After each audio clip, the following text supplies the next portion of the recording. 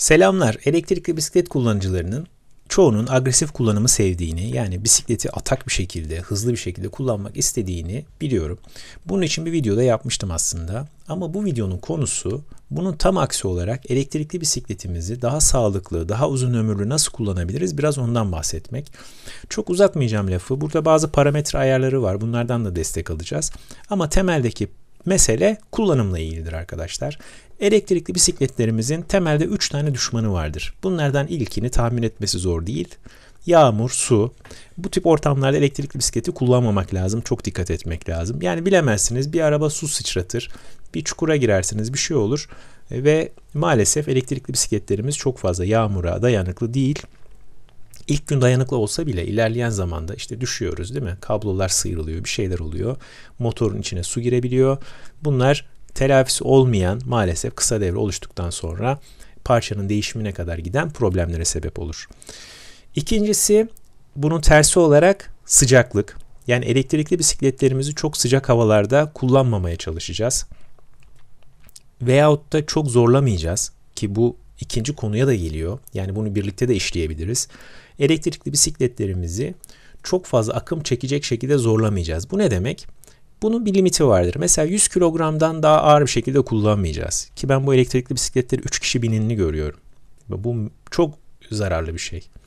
Bu hemen o anda belki probleme sebep olmayacaktır ama bu zorlamalar motorun içindeki sargıların yanmasına, zamanla yanması, yanması, yanması şeklinde bir yerden muhakkak patlak verecektir.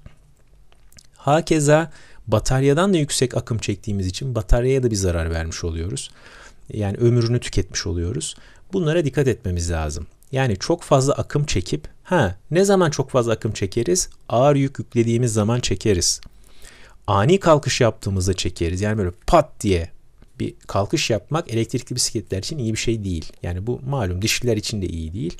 Motorun sargıları için de iyi bir şey değil. Bunları yapmamak lazım.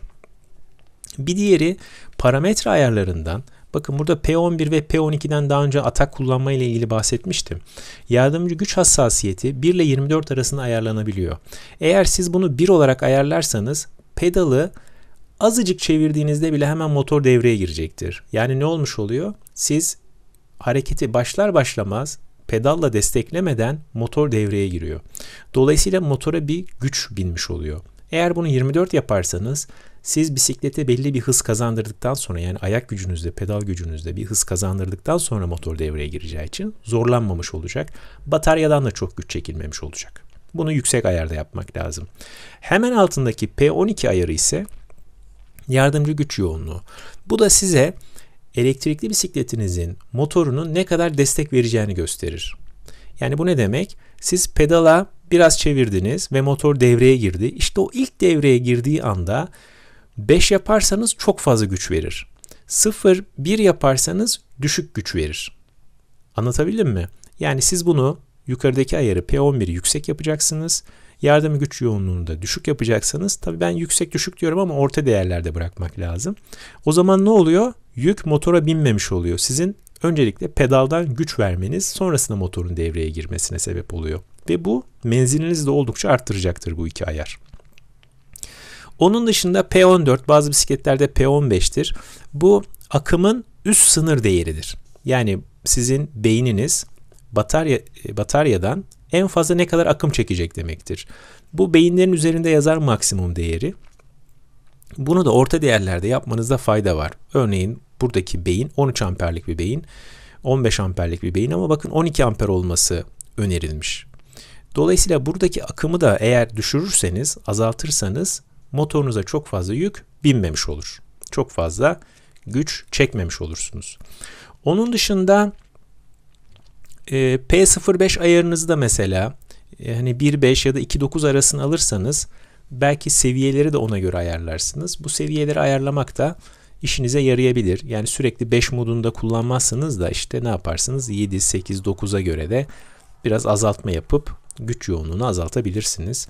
Bu ayarları uyguladığınızda göreceksiniz bataryanız ve motorunuz çok daha sağlıklı bir şekilde çalışacak. Ee, bir de tabii P08 ayarınızı da düşürmekte fayda var. P08'in maksimum yaptığınızda ne oluyor? Bataryanız o hızlara çıkabilmek için ve motorunuz çok zorlanıyor. Bu zorlanmayı engellemek için de bu hız limitini koyarsanız P08 hız limitidir. İşte bunları 25-30 yaparsanız çok daha yüksek hızlara çıkmamış olursunuz. Bu da yine motor sağlığınız için iyi olacaktır. Yeni videolarda görüşmek dileğiyle. Hoşçakalın.